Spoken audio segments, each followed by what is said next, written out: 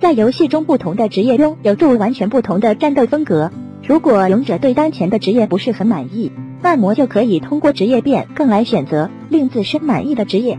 不过职业变更并不是那么简单的，在变更之前，勇者最好了解相关的内容。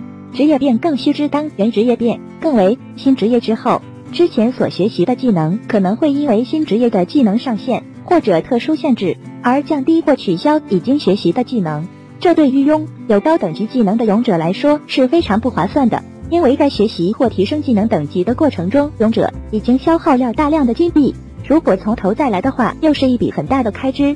毕竟金币在游戏中用处也是蛮大的，无论是提升宠物技能天赋还是制作装备，都需要消耗金币。不过好在职业变更之后会保留原职业的技能等级。如果勇者改变心意，想要重玩原职业，万魔或要再次进行职业变更即可。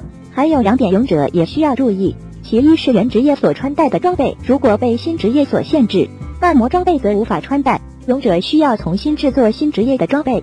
这样一来，原有的战力就会瞬间下降，这点勇者要做好一定的心理准备。其二是，如果原职业获得料首席称号，半魔在变更职业之后，该称号将会被删除。不过好在变更职业之后，职业的进阶等级不会发生变化。会继续保留原职业的进阶等级，不用勇者重新去进阶职业。当决定好变更职业之后，勇者需要前往职业介绍所找到 NPC 指导员比诺塔进行最终的变更操作。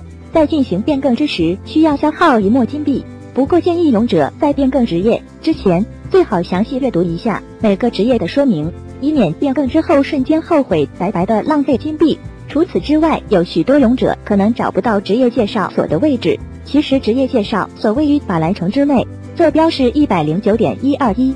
如果勇者实在找不到该坐标，万魔可以点击的图选择法兰城，从人物明细中找到德米特夫，然后点击自动寻路。